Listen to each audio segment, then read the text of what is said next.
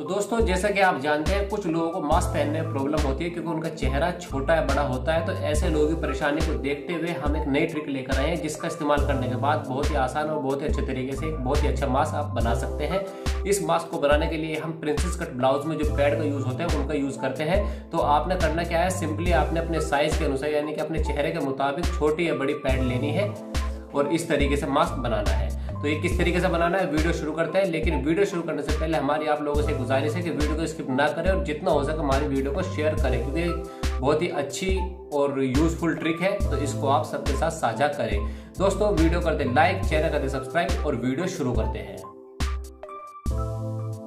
अपनी ज़रूरत के मुताबिक आपने कॉटन के कपड़े यानी सूती कपड़े के चार पीस लेने हैं, जिनकी लंबाई और चौड़ाई कुछ इस प्रकार होगी। लंबाई होगी साढ़े आठ इंच और चौड़ाई होगी पाँच इंच।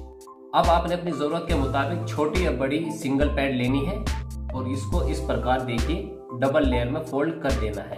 अब हम लेंगे अपने कॉटन के टुकड़े और कॉटन के टुकड़े को यहाँ पर इस तरीके से रखेंगे और उसके ऊपर हमने पैड रख देनी है। यहाँ पर आपको एक बात का ख्याल रखना है, आपका जो कपड़ा है सीधा होना चाहिए, यानी कि कटिंग होने के बाद हमारा कपड़ा सीधा होना चाहिए, ना कि उड़े।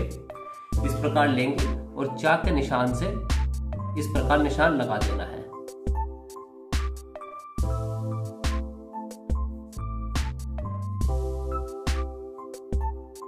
अब आपने अपने कपड़े की कटिंग करनी है और कटिंग करने के लिए निशान से डेढ़ पैर का दबाव छोड़ते हुए आपने कटिंग कर देनी है।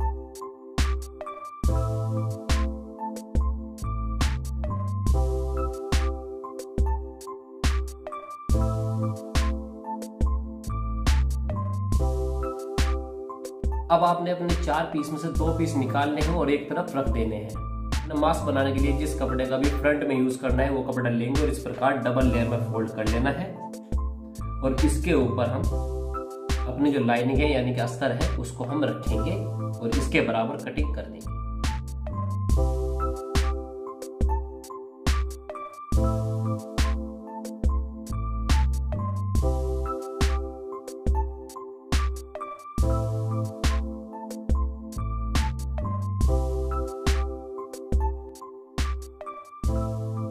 अब आपने अपनी लाइनिंग और अपने कपड़े को आपस में स्टिच करना है और स्टिच करने के लिए इस प्रकार अपने कपड़े के ऊपर लाइनिंग को मिलाकर रखेंगे और चारों तरफ़ सिलाई लगा देंगे।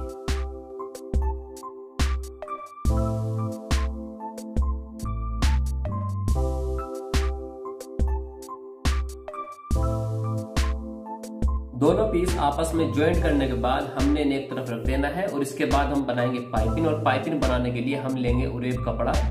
और इसके साथ लेंगे हम सूती धागे की डोरी और डोरी को इस प्रकार अपने कपड़े के बीच में रखेंगे और कपड़े को डबल लेयर में फोल्ड कर देना है। और फोल्ड करने के बाद हमने यहाँ पर लगानी है सिलाई और सिलाई लगाने के लिए आपको चेंज करना होगा अपना फुट यानी कि सिंगल फुट का आपने इस्तेमाल करना है। और इसको आपने यहाँ पर इस तरीके से रखना है और सिलाई लगा देनी है।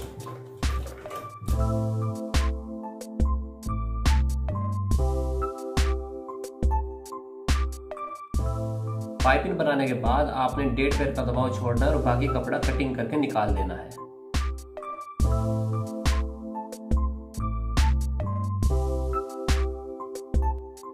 अब आपने अपना सिंगल पीस लेना है और इसके ऊपर अपनी पाइपिंग को यहाँ पर इस तरीके से रखना है, किनारे से किनारा मिलाते हुए और अपनी पाइपिंग के किनारे पर आपने सिलाई लगा देनी है।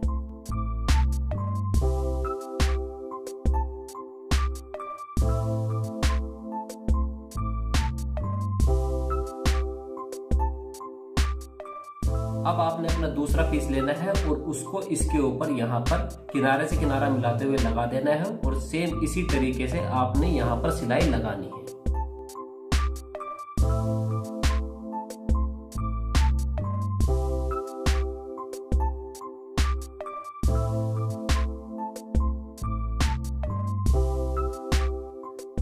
अब आपने अपने पीस को ओपन करना है और यहाँ पर नाखून लगा लेना है। और नाखून लगाने के बाद आपने यहाँ पर किनारे की सिलाई लगानी है।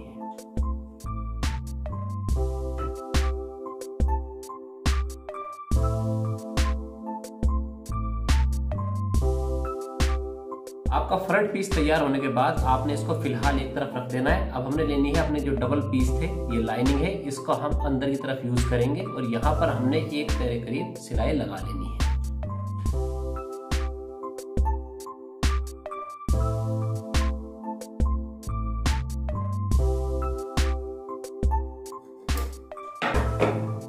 इस प्रकार सिलाई लगाने के बाद हमने अपने पीस को ओपन करना है और यहाँ पर हमने नाखून लगा लेना है।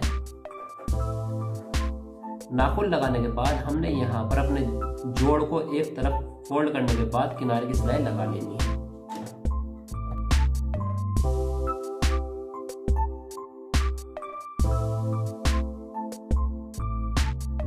आपका अंदर वाला पीस तैयार होने के बाद आपने अपनी पैड लेनी है और पैड को इस प्रकार उल्टा कर लेना है। और उल्टा करने के बाद यहाँ पर आपने लगा लेना है एक निशान 20 सेंटर के मुताबिक। और यहाँ पर 20 सेंटर से 20 सेंटर मिलाने की कोशिश करें और इस प्रकार कपड़े को खींच ले। यानी कि कपड़े का जो नमी है, झोल है, सब निकालने की कोशिश करें और इस प्रकार अपने पीस को उल्टा कर लेना है। और यहाँ पर चारों तरफ़ आपने सिलाई लगानी है जिससे कि अंदर का झोल अंदर ही रहे।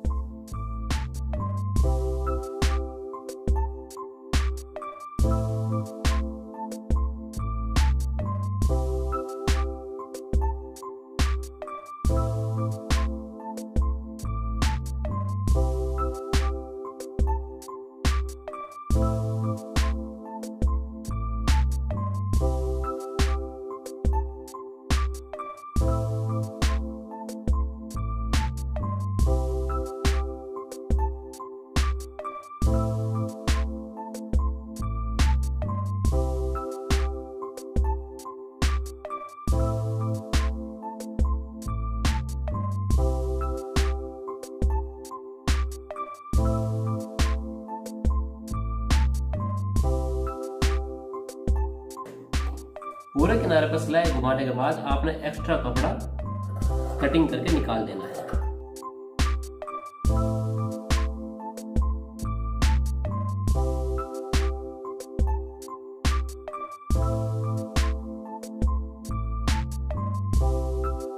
अब आपने अपनी पैड को इस प्रकार लेना है यहाँ पर और इस तरीके से दोनों गोलों पर निशान लगा देना है।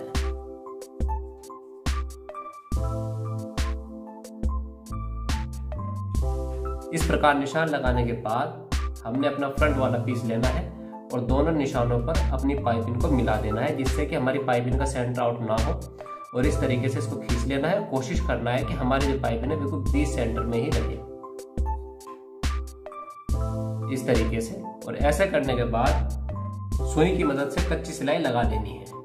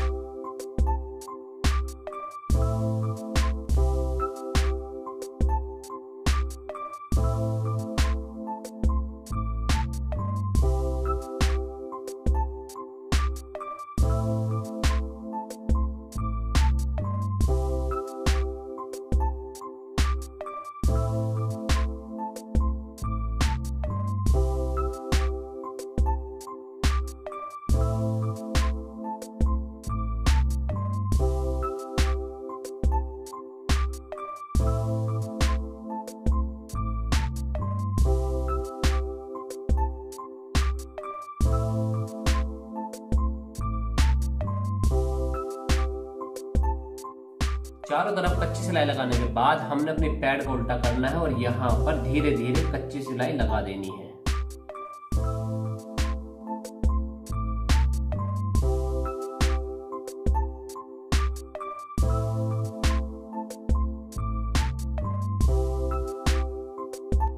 अब हमने एक्स्ट्रा कपड़े को कटिंग करके निकाल देना है।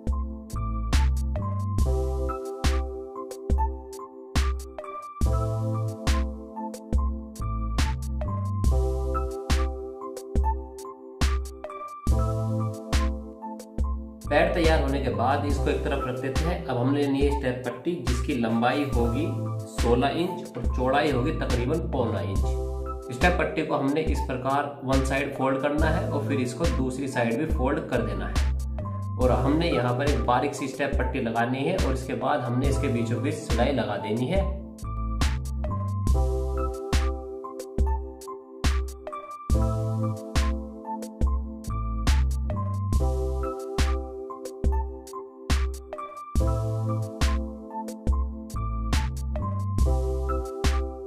सेम इसी तरीके से हमने चार स्टेप पट्टे तैयार कर लेनी है और अब हम लेंगे अपनी पैड और पैड पर हमने करना क्या है? यहाँ से हम एक इंच इधर और एक इंच इधर निशान लगाएँगे दोनों साइड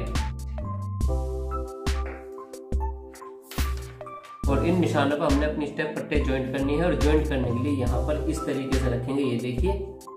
और यहाँ पर हमने सिलाई लगा देनी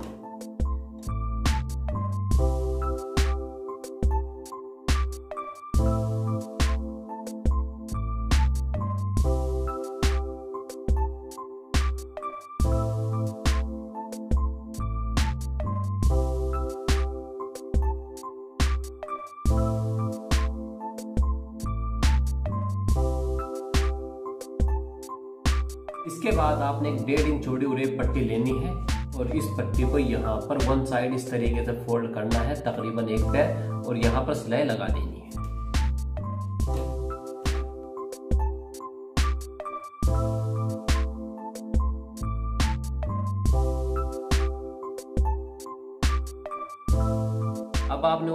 पट्टी लेनी है और इस प्रकार थोड़ा सा आधे इंच करीब फोल्ड करना है इसको और मास्क पर यहाँ पर किनारे पर रखेंगे और एक पैर की सिलाई लगाएँगे और पूरे मास्क पर राउंडली सिलाई घुमा देंगे।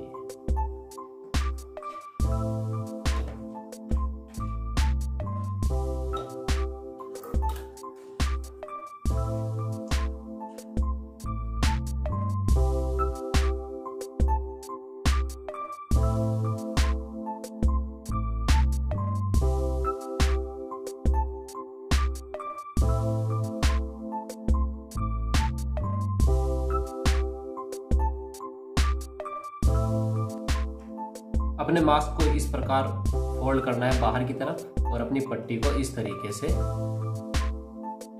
ओपन कर देना है। और यहाँ पर हमने लगाना है नाखून और नाखून बहुत ही हल्के हाथों से लगाना है। पट्टी को खींचते हुए चारों तरफ़ बहुत ही अच्छे तरीके से अपने नाखून लगा लेना है।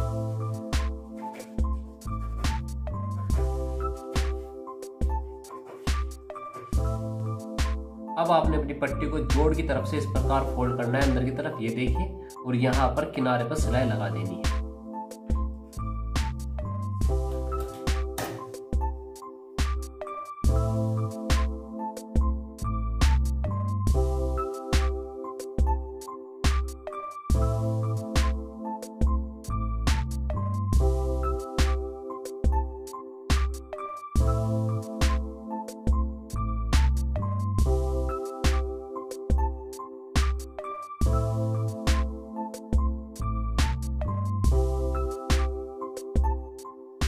तो दोस्तों, जैसा कि आप देख रहे हैं, हमारा मास्क बनकर तैयार है। ये देखिए, चारों तरफ़ से ये गुम है अंडरग्राउंड है। कहीं से कोई भी धागा या कपड़ा बाहर नहीं निकला हुआ। यहाँ पर जो हमारी स्टेप पट्टियाँ है, काफ़ी मज़बूत है, कहीं भी टूटेगी नहीं और ये काफ़ी लंबी है। आप अपने चेहरे के अनुसार, अपने साइज़ के अनुसार इन्हें छोटा बड़ा कर सकते हैं। आपको बांधने में भी कंफर्टेबल होगा।